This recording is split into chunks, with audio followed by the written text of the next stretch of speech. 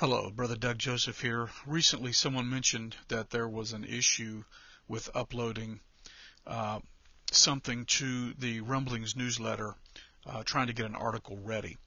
I believe the issue was related to uh, the fact that it was a PDF. So I want to show you um, a PDF is a little different than a JPEG, and um, and, and, I want to show you uh, what can happen with a PDF that may have been the issue that was uh, uh, that was run into.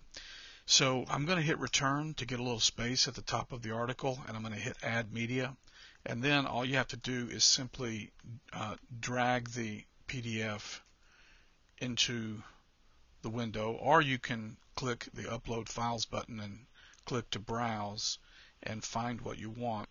Uh, but uh, we've got the uh, we've got the PDF here, and you'll notice there's not a thumbnail preview like normally with um, uh, with an, with a JPEG image, and there's this link to option.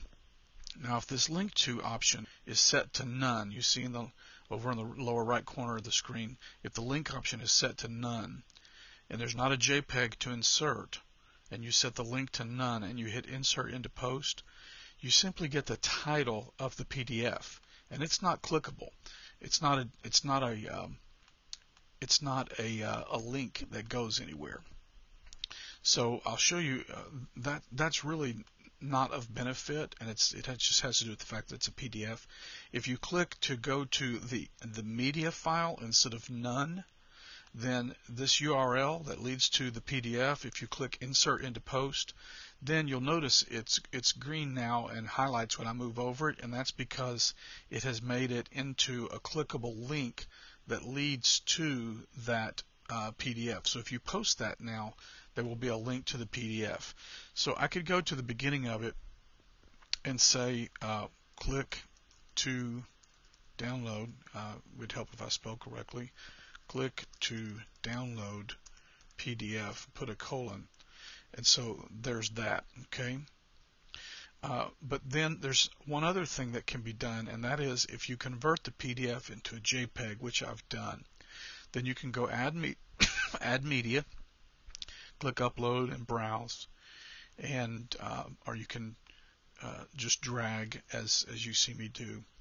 Uh, and um, this time it's uploading the JPEG, and um, I can I can cl- click on, on this PDF, excuse me, and I can get the URL for the PDF.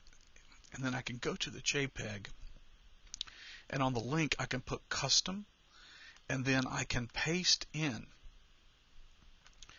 the the URL for the PDF, and then insert into post. And and now this